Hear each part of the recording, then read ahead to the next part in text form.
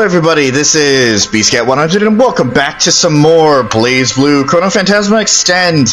In the previous episode, we had finished up episode 15 of the Chrono Phantasma Path, The Truth, where we had learned quite a bit, uh, quite a few more things, like the fact that Celica is able to absorb all ether, um, all, yeah, ether in the area, and, uh, she is the BlazBlue's weakness. As long as she is around, nobody who has access to it can use the BlazBlue.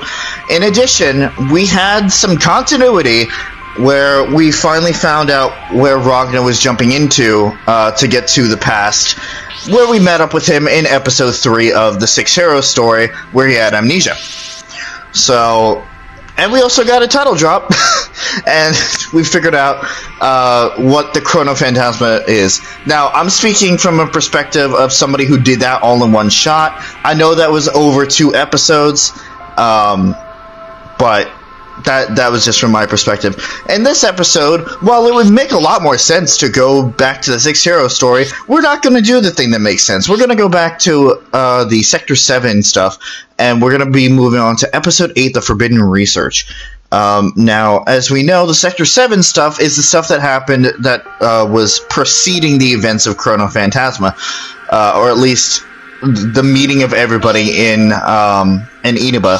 So we are probably going to get back to the present. Also, Hazama is on the thing here, so I can only imagine she's, he's going to have a huge impact in this but enough speculation. We're gonna jump right into it. If you like what you see, leave a like down below. Comment if you have anything to say. Subscribe to me if you haven't already. Click that bell so you're notified of everything that I do when I do it, and share with your friends so they can join in on this adventure. Now then, without further ado, let us move on to the Forbidden Research.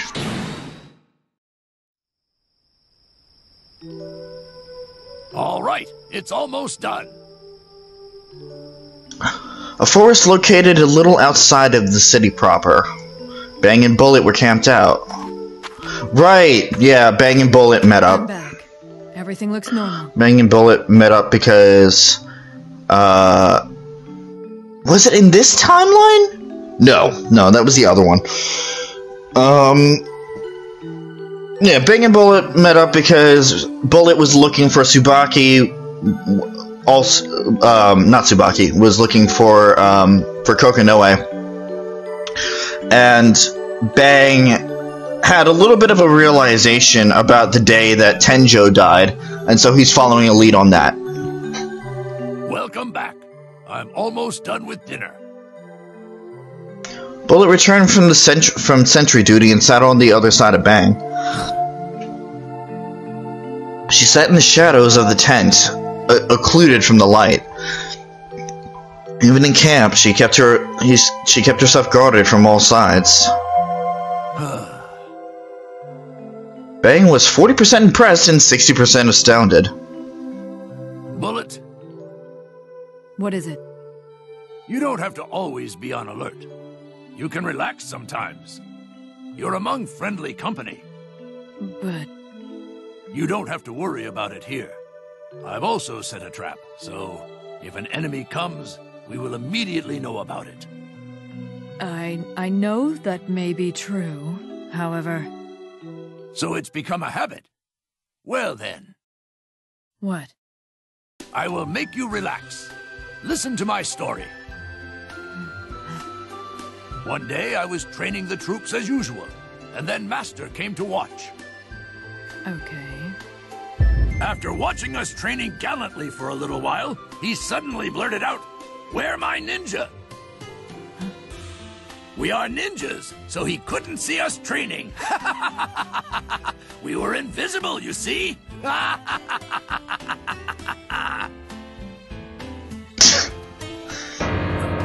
way.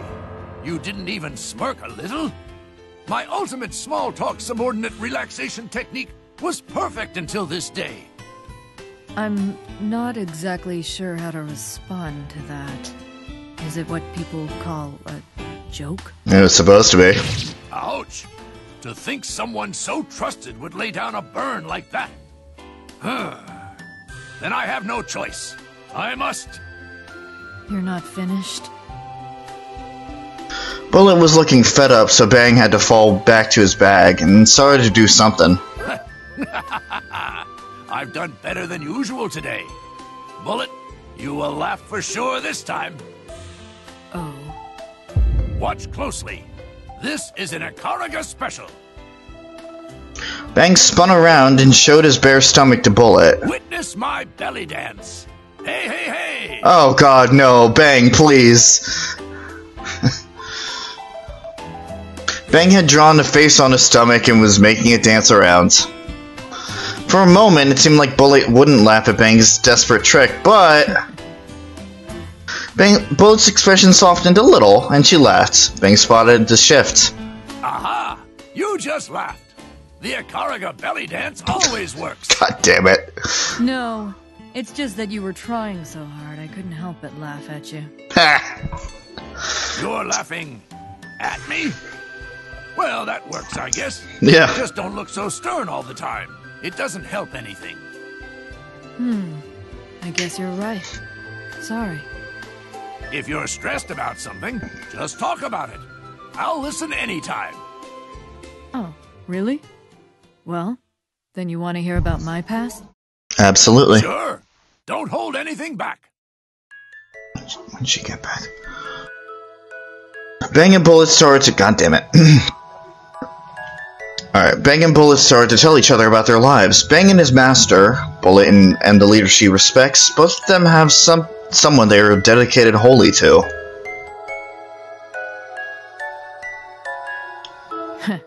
Maybe we have something in common after all.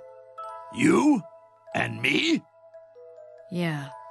Maybe I opened up too much. Don't worry about it. Fuck you, you don't get to listen to that story yet. Opening up is important, and both our quests have noble reasons. Our meeting was ordained. Ordained. Let's work with one another to accomplish our quests. I see. I guess you're right. Thanks. But of course,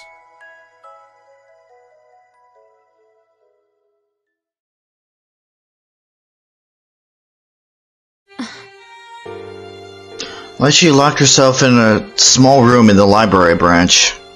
Well, maybe not herself. The entrance to a room was being monitored by the security system in the hallway, so it's more like being under mild house arrest. I always knew it was going to end like this. I'm not as good as the professor or Roy. I can't even save the one person I want to.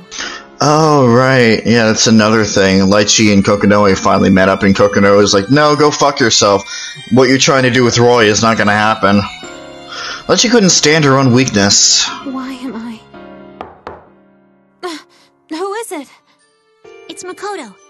Litchi, do you have a moment? Makoto? Sure. I'm coming in. This reminds me of your clinic. Are you allowed to be here? I feel like they'll hold it against you. It'll be fine. I'm not breaking any rules. well, I guess you're right. I could learn a thing or two from your boldness. Are you alright, Litchi? You seem a little out of it. I feel like it. You must be going through a lot. Yes, I am. So, you came here for a reason, right? Yeah, uh, so I was curious what you guys were talking about when I came in back there. What Kagura was talking about?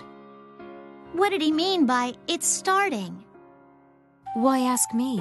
Wouldn't Kagura or Kokonoe have that answer? Yes, but they wouldn't tell her. Yeah, but, you know, I think they think I'm dumb and I wouldn't be able to understand. Could you ask them for me? What? Me? Why me? Please? I'm so curious. I'm sorry, but I have to decline. Besides, I don't think they'd tell me given what I've done. Hmm. Oh, But you're asking the right questions. I wonder if that thing has something to do with the Seithr density. They also mentioned that person. There's only one person I can think of that could affect the density of Seithr. what are you thinking about? So Litchi I knows. don't have any proof. I am literally dying of curiosity. Can you tell me anything? Professor Relius and I have been experimenting with vaporizing solidified Seithr. We even made a device to do it. That's all I can think of that would affect Seithr density. Relius Clover? But why? It's just a guess, and there's no way for me to predict what Relius or Kokonoe may be thinking. Right, Professor? What do you think? I know you're eavesdropping. what? Kokonoe? Well, okay. I do have a guess. But my eight ball is saying outlook not so good. okay. Of course she's eavesdropping. Of course she is. Speaking of the device in Relius Clover. I'm coming in! Boy, you sure do love these dark holes in the ground, don't you? Aren't you worried you'll go stir crazy? You're late. Listen, I can't just be at your beck and call all the time. Your impatience is a symptom of your stir craziness. It appears that Litchi Faye-Ling has made contact with Kokonoe. Yeah, she's really dedicated herself to that little blob, huh? A waste of time. A girl and her blob. That's a great idea for a game or something. In the meantime, they are our playing pieces. Hazama put his hat back on and chuckled in the darkness outside of the room. In the darkness of the room.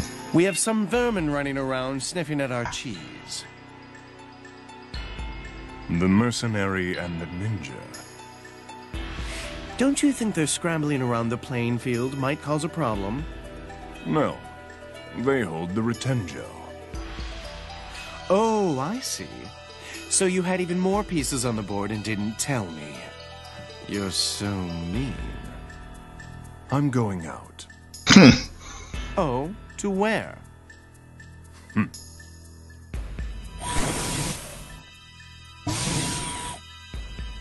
My, my, is he in a good mood or bad? He isn't even kind enough to offer me a drink. Well, I suppose he's too busy preparing for the party. So I guess I'll let him slide. Kokonoe and her gang will eventually show up. So I guess I can send an invitation to the rats at the same time.